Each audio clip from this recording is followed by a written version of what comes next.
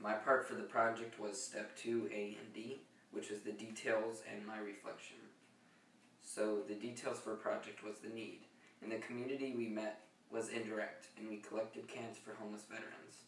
The research we conducted was info on how many homeless veterans there currently are in Melbourne, Florida. We looked for organizations that are aiding homeless veterans. Our community partner is National Veterans Homeless Support, which is NVHS. NVHS is mostly a family. They are trying to raise thirty thousand dollars to support their annual Christmas time event, which will feed the homeless as well as provide provide them with gifts, hotel rooms, Christmas dinner, and a resource for employment. Their mission is to eliminate homelessness among veterans in Central Florida. NVHS was founded in 2008. They were formed by veterans to locate the more than 4,500 homeless veterans living in the parks, woods, and streets of Central Florida. And my reflection was this experience affected and changed me in many ways. After researching information about homeless veterans and found out there are more than 4,500 homeless veterans in Central Florida, it actually frightened me. If I had to guess, I would have said about there were five, 1,500. 1,500. I was very effective. I collected a lot of cans, and my ideas for overall improvement would be to have got all assignments turned in all before the due date. I think getting denied for our idea of the benefit concert really kind of messed things up. I could have made this project and experience better by trying to collect just a little more cans. In future activities, I can take better ownership by monitoring progress and making sure all the work gets accomplished.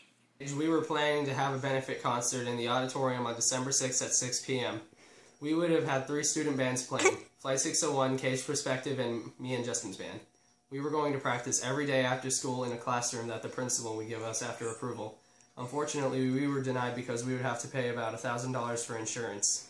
We had to scramble to make a contingency plan, so we decided to collect canned goods, which we would have done with the money for the show anyway, and drive them to the N- N- NVHS headquarters in Merritt Island.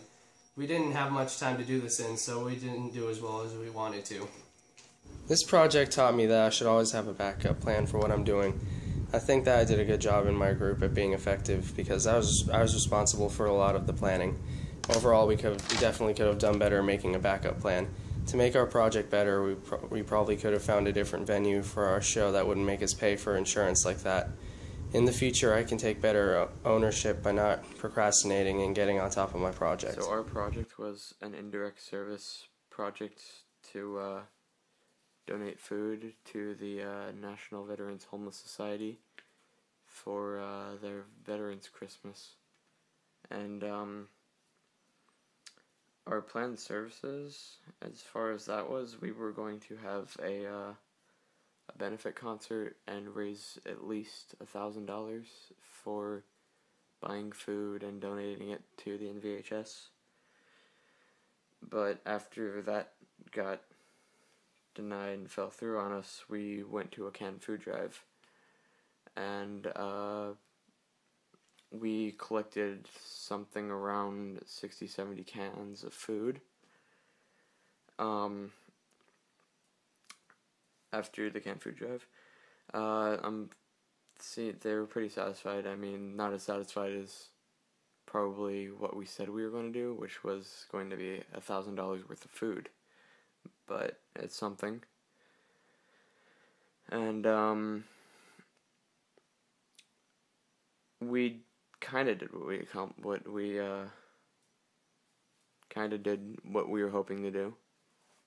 I mean, we donated food to the National Veterans Homeless Society, and uh, yeah.